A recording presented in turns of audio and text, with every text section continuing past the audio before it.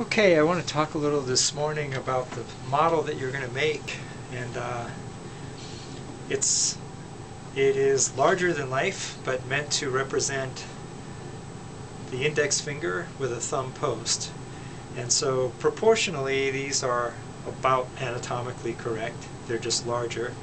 Um, a thumb only has a metacarpal, the index finger, which is the functional part, has a metacarpal, a proximal phalanx, middle phalanx, and distal phalanx.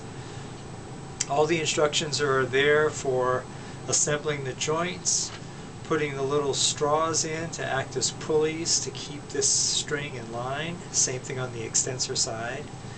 Putting ligaments to prevent the joints from moving too much. You'll find that without the ligaments, it moves uh, in too much flexion.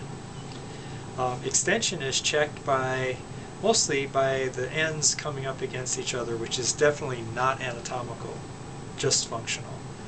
And so what do we have? We have the, this orange string, which is the flexor digitorum profundus, which flexes every joint if you pull hard enough.